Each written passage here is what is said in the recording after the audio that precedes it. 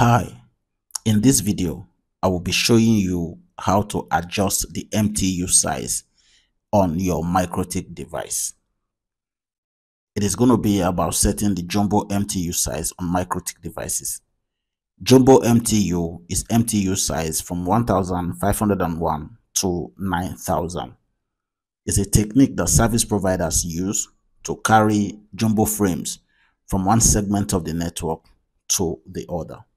So in this simple topology you can see on your screen, I am going to start off by configuring the IPs. So I have the routers from M1 to M5 and presently I am logged on via the console to router M1. So the first thing I'm doing here is to set up the IP address and to put a simple default route. Then I will move to router M2. Here I'm going to log in, set a new password for the router. After that, I'm going to configure the interfaces. The first interface will be the interface that connects to router M1 and then the second interface connects to router M2. I'm setting the IP address for the interface that connects to router M1 and that's on interface Ether2. The second is the IP address that connects me to router M3 and that is on interface Ether1. Hit the enter key, then set the route statement. Now here I'm going to configure a static route for reaching the network that is connected to router M3 and that's network 3.3.3.0 slash 30.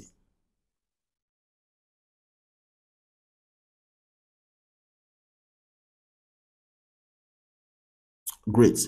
Now, having done this, I'm going to move on to router M3.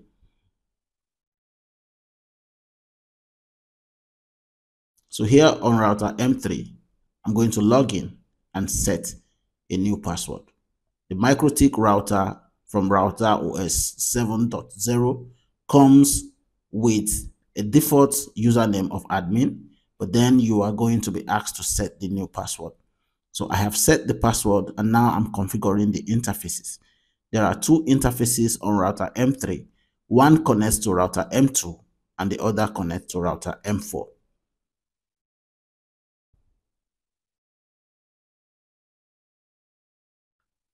The IP addresses have been configured on Ether1 and Ether2. Now I'm going to put a route statement.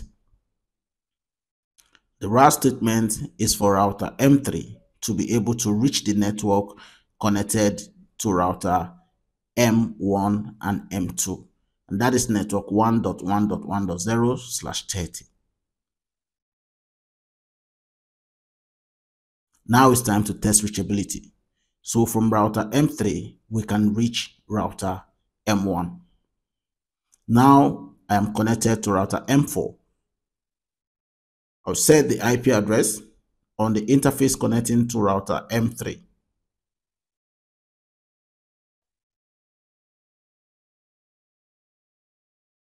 And then I'll configure a default route for router M4 to reach the other networks.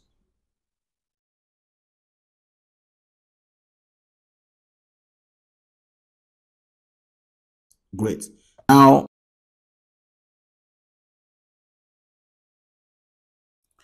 reachability test to 1.1.1.1 succeeds.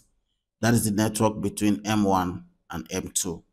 Now let's ping with an increased MTU size of 9000. It's successful. Now let's set the do not fragment bit to yes. And we can see that it is not successful. This is because we have not adjusted our MTU to jumbo size yet. So as you can see, it's at the default 1500 byte. Now let's adjust the MTU across the devices that our packet will transverse. So the first thing you might want to do is to print your interface list and it shows you the column number. This is when you are doing this via the console, the command line.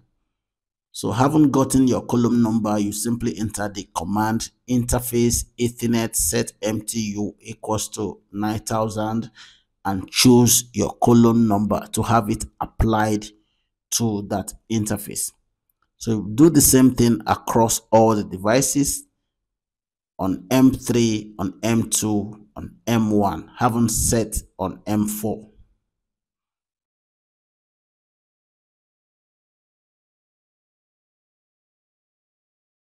Great. Now let's get it done on M1. Print the interface list, get the column number, apply the command interface ethernet set mtu equals 9000 and enter the interface column number. So we are back on router M4. The same ping command, the same do not fragment bit set to yes. We can now see that it is succeeding. Jumbo MTU is important if you are a service provider It allows you to carry jumbo frames on your network without the need for fragmentation and defragmentation, thereby speeding up your delivery time while reducing overhead. Thanks for watching and see you in my next video.